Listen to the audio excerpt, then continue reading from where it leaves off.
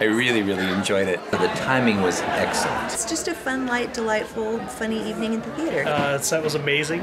Uh, cast was fantastic. It was smart, witty, and um, heartwarming. And tasty snacks in the lobby. So it's a win-win-win.